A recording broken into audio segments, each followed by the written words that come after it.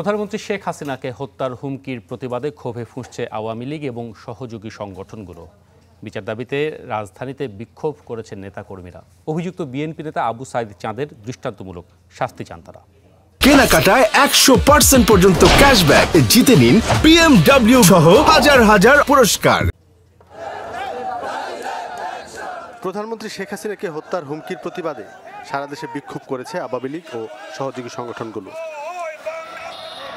রাজধানী ঢাকার বিভিন্ন পয়েন্টে বিক্ষোভ করে দলটির সহযোগী সংগঠনগুলো। হুমকিদাতার দৃষ্টান্তমূলক শাস্তির দাবিও তাদের। ডিপ্লোমা ইঞ্জিনিয়ার্স ইনস্টিটিউটে এক আলোচনা সভায় আওয়ামী লীগের যুগ্ম সাধারণ সম্পাদক মাহবুবুল আলম হানিফ বলেন, আগামীতে হুমকি দেওয়া হলে দাঁত ভাঙা জবাব দেওয়া হবে। বাংলাদেশে যদি আর এই ধরনের কোনো দ্বিতীয়বার উঠতে হয়, তাহলে এই দেশের জনগণকে নিয়ে আপনাদেরকে দাঁত ভাবা জবাব দেওয়া হবে। বঙ্গবন্ধু কন্যার হত্যা দূরের কথা? জনকে শেখ হাসিনার গায়ে একটা আঁচড় কেউ যদি দেওয়ার চিন্তা ভাবনা করে তার সেই দাঁত কীভাবে ভেঙে দিতে হয় তার তাদেরকে কীভাবে শাস্তি করতে হয় সেটা বাংলাদেশ আওয়ামী লীগের নেতা কর্মী জানে।